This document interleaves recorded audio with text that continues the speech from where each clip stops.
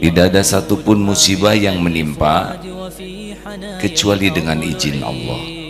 Dan barang siapa yang beriman kepada Allah, Allah memberi petunjuk ke hatinya. Sesungguhnya Allah Maha mengetahui segala-galanya.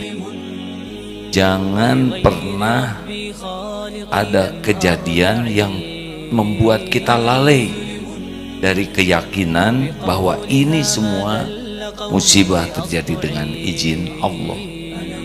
Oleh karena itu hadirin mari kita biasakan kejadian sekecil apa pun musibah alladzina idza asabathum musibah qalu inna lillah wa inna ilaihi raji'un ulaika alaihim salawatun min rabbihim wa rahmah wa ulaika humul muhtadun. Mereka itulah yang akan mendapatkan keberkahan yang besar curahan rahmat Allah ampunan Allah dan petunjuk.